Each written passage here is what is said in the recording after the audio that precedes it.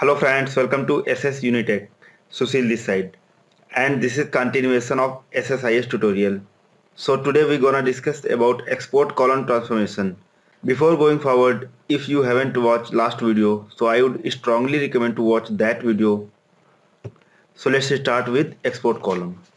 So export column transformation reads DT text, DTN text and DT image data from database and write it a file with the name and path given in the another column of the same row.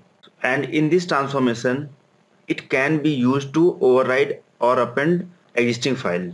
So as we can see here we have OLEDB source then we have export column transformation. There is no need to use any destination. So data will be loaded automatically while we are going to use export column transformation. So let's have a look of SQL Server table. So here we have import column table and we have imported data in this table in our last video.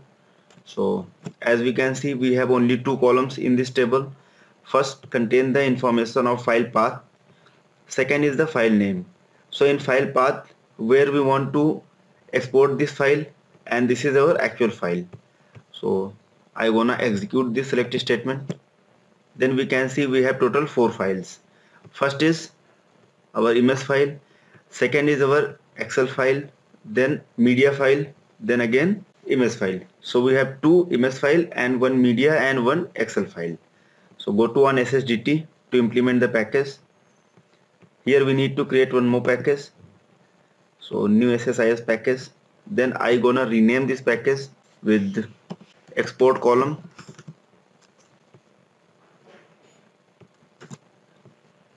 then we have to use data flow task. So we can drag and drop this data flow task and then double click on this data flow task. Here we need to configure our source and transformation. So our source is OLEDB source because we have data in our SQL Server table. Now we need to double click on this OLEDB source.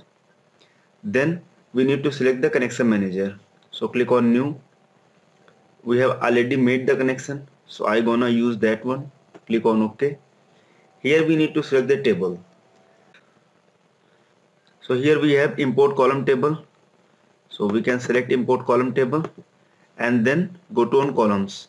So we want all these column. Now click on OK. Then we need to configure our export column transformation. That is available inside this other transformations. So we can drag and drop this export column transformation then we need to connect with source.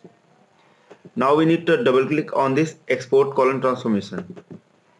So here we can see extract column. So here we need to select that column which contains the actual file. So this is files. Then where we want to export this file so we can select the file path. So here we have option for allow append force truncate. These are the options available. So we don't want to use that one then click on OK. So we have done our export column transformation. So as we can see in this folder we don't have any file. We have only one file which is file path. Once we execute this package then files should be loaded in this folder. So we can click on start.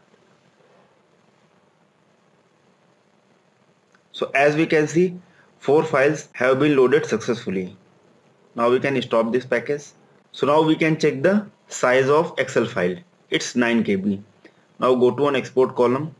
And this time I wanna select this checkbox. Allow append now click on ok. Then I wanna execute this package one more time. So click on start.